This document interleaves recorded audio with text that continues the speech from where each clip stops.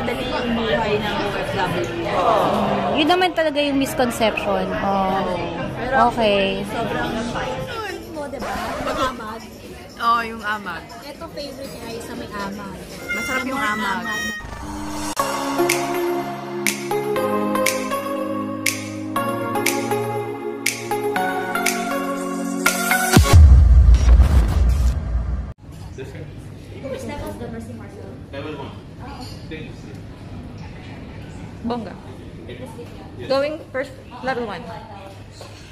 Ingat na!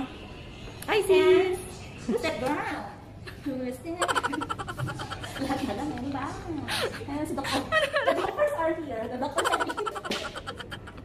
Mamaya na tayo. Nasa business na lang tayo. Dami na natin. Doc Isa? Where are we going, Doc Isa? Where are we going, sis? No, I'm doctor. Oh, okay, Dr. Liza. Liza. Lord Liza. Doctor Skin. Doc, where are we going? It's level 1. Alright, so now we going to Go, go. Baksan ka ulit kay Jungkook. Jungkook!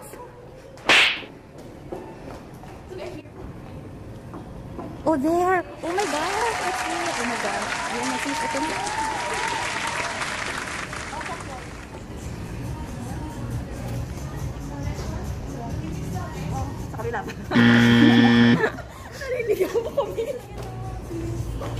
Oh, yeah, yeah, yeah. Ay, ano nila to? Merchandise.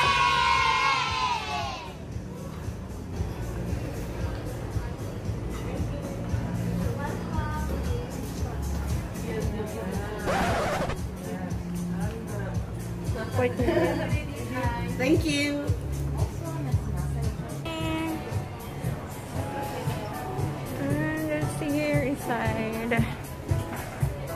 While waiting for our table.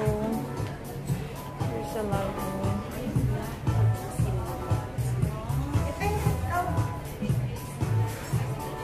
Dr. Liz. Oh, nice.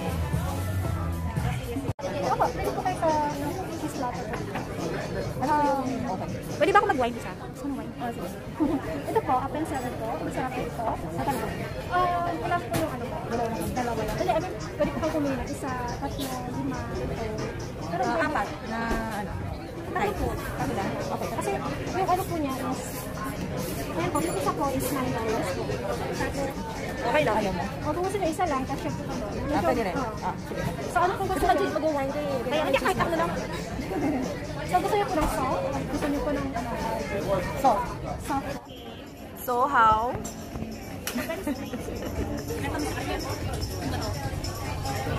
Tawang-tawa na naman ako. Ano? ano yun? mo, di ba? Yung amag. Oo, oh, yung amag. Ito favorite niya isa may amag. Masarap The yung more amag. The more pepper. The more expensive, the more amag. Yes, the amag is the So, proof that it has been. ng bahay. Kuha ka ng Eden cheese, tapos ilagay mo sa gilid. yes, yes. Ref. Pamagan mo.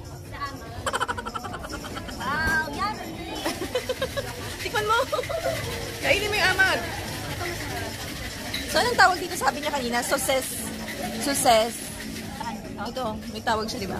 Yung sausage, ano. In a French. How do you call this again? Sausage. Yeah, that's what they call it. Ah, okay. Yes, thank you.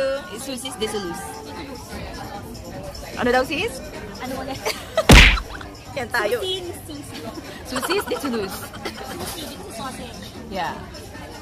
Anong cheese to? Eden or Kraft? Cheese whiz? Cheese whiz. And your wine, and your wine. How was your wine? Hindi ba lasang tuba? Hindi ah.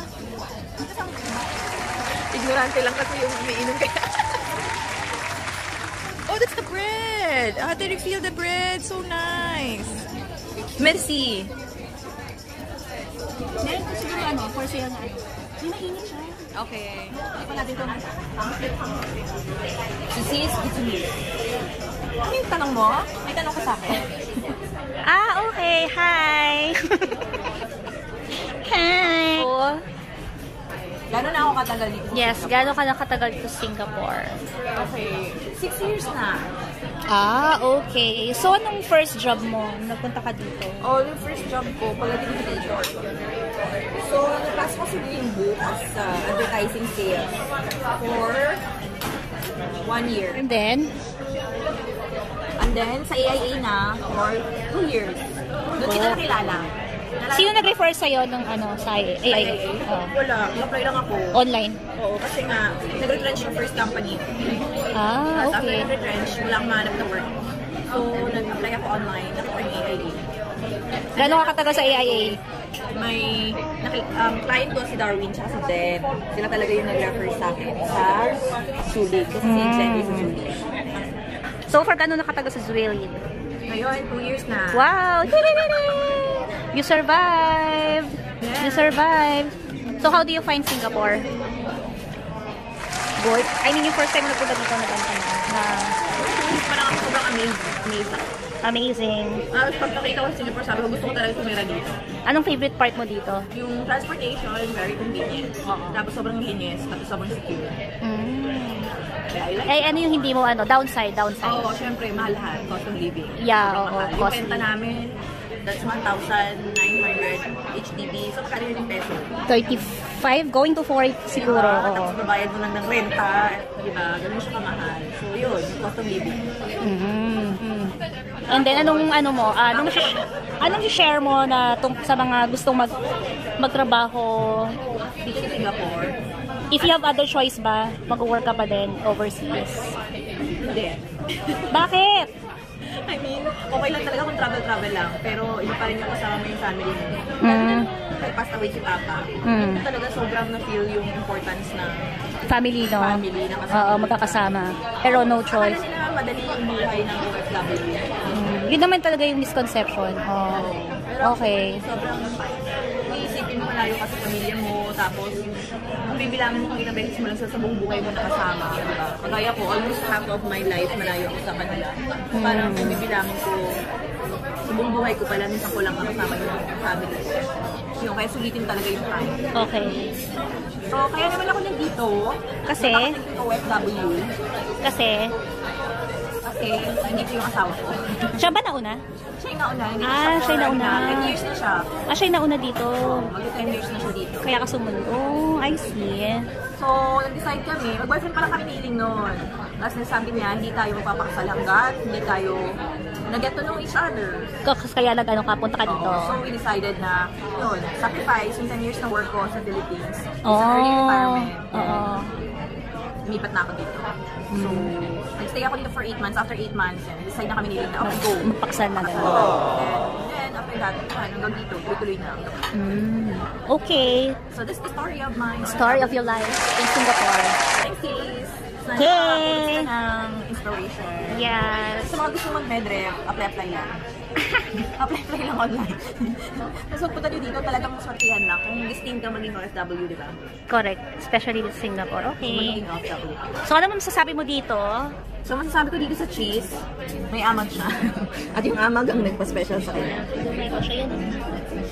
And last message, I Ano? want to thank my videographer all this time. Sobrang tiyaga mag-video ng lahat ng video na nakikita nyo sa vlog na to. Sa lahat nagbi-video niyan.